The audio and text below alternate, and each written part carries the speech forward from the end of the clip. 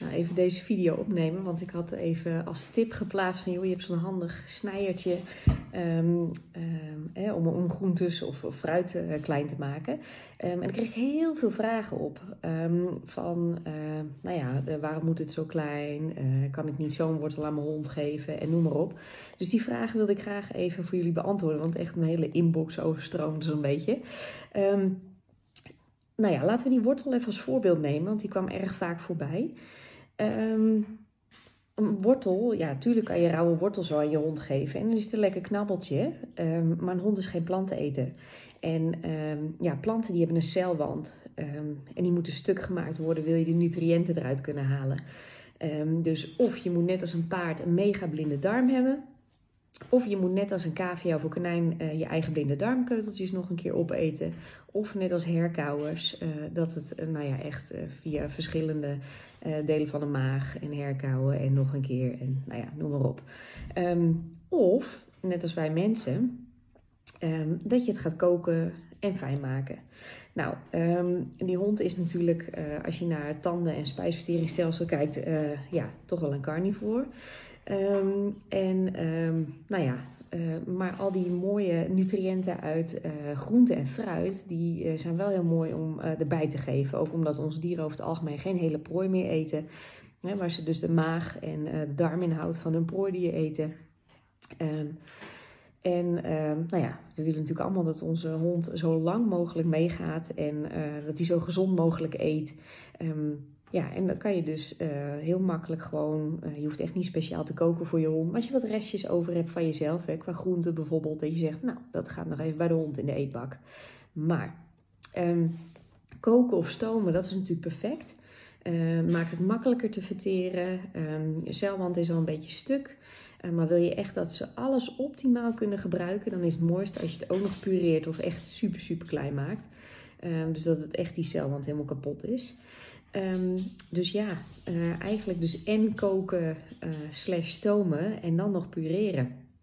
Um, dus dan, dan heb je er het, meeste aan, zeg maar. En natuurlijk hier gaat ook wel eens na het eten, ga ik echt niet voor die honden, als wij worteltjes hebben gegeten, um, dat ik het nog een keer ga... Uh, um, ja, pureren of zo. Dan gaat het ook zo in de voerbak. Um, nou, meestal zie je daar niet zoveel van terug. Maar als je natuurlijk een rauwe wortel aan je hond geeft en uh, je ziet de volgende dag zijn ontlasting, je natuurlijk al aan je stukjes erin. Um, dus dan kun je gelijk zien ja, dat dat dus helemaal niet verteert. Dus uh, rauw geven mag dat niet? Ja, mag wel leuk knabbeltje, hebben ze verder niet zoveel aan. Wil je dus echt dat ze die mooie uh, nutriënten eruit halen van vitamines, mineralen en nou ja, noem alles maar op. Um, ja, dan zul je toch nog even aan de slag moeten door het te pureren. En wat natuurlijk ook wel heel handig is, um, als je bijvoorbeeld uh, dat een keer doet, dat je denkt van nou ik ga dat één keer pureren en ik wil dat wel gewoon een aantal keer per week uh, bijgeven aan mijn hond of elke dag zelfs, dat mag ook. Um, dat je dat bijvoorbeeld in ijsblokvormpjes invriest. En dat was een ding wat ook meteen weer langskwam van... Um, mag ik die ijsblokjes dan gewoon zo geven of moet dat eerst ontdooid? Um, ontdooid is wat uh, aardiger voor het spijsverteringsstelsel, want anders koelt het heel hard die maag.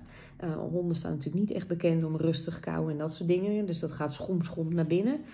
Um, en dat is best wel een aanslag op die maag. Dus ja, die maag moet extra aan het werk. Dus zeker als je een hond hebt die snel last heeft van maagzuur, uh, gevoelig is voor diarree, dan zou ik echt aanraden om ze eerst goed te ontdooien.